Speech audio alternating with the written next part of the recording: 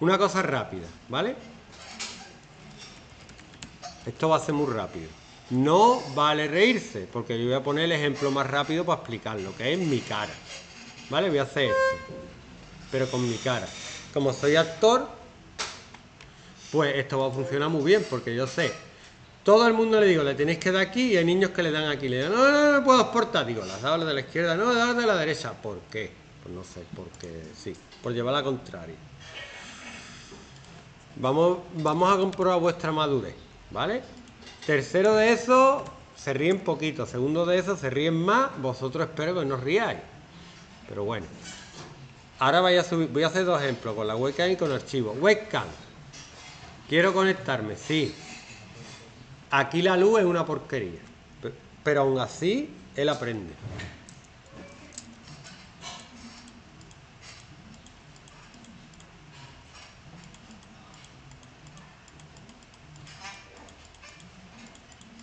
Con dientes, sin dientes, moviendo la cabeza, ¿vale? Cuanto más modelos tenga, mejor. Cuanto más fotos tenga, mejor. Con diente, con diente, ¿no sabéis esa frase de la pantoja? Con diente, con diente, pues. Y ahora, triste. ¿No habéis reído? Muy bien.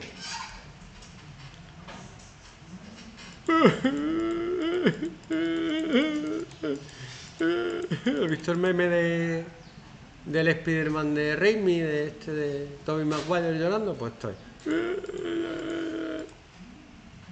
Preparar modelos, no voy a explicar los parámetros, podría, pero no lo voy a explicar.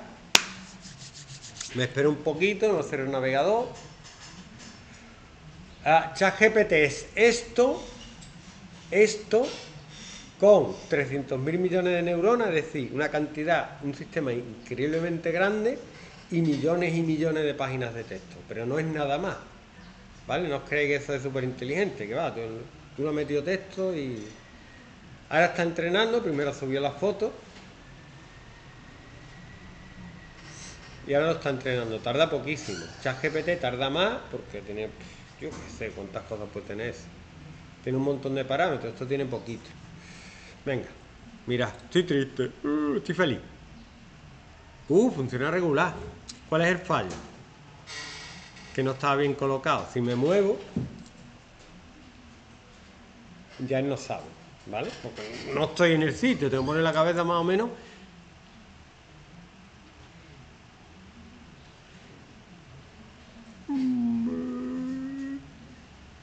Está regular, ¿eh? El otro me ha salido mejor. Bueno, termino. Exportar modelo. Subir mi modelo y ahora os genera una URL que es la que me le metemos al App Inventor para que funcione. Copiar, me la mandáis al correo y ya está. Un ejercicio.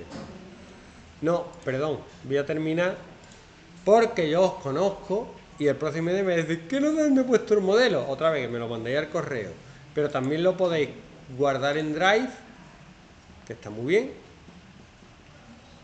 Eh, Creo que lo he hecho ocho veces ya en dos días. Qué aburrimiento. Y... Y si os lo queréis quedar, lo podéis descargar como archivo. ¿Vale? Antes uno muy chulo que era distinguir cometa de estrellas fugaces. ¿Cierto? Está pasando un cometa, es no visible.